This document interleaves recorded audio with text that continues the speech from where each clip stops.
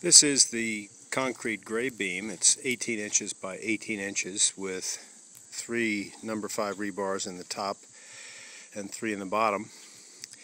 It's spanning helical piles, which are 24 feet below the grade beam, so they're 28 feet below grade.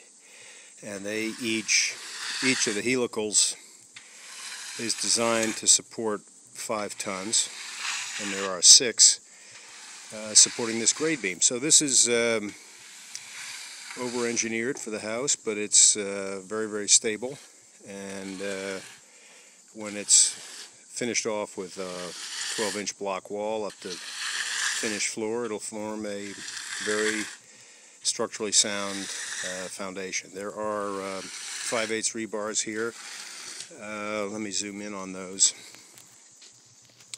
Rebars are on uh, two-foot centers in the concrete, and they, they will secure the block wall to the grade beam.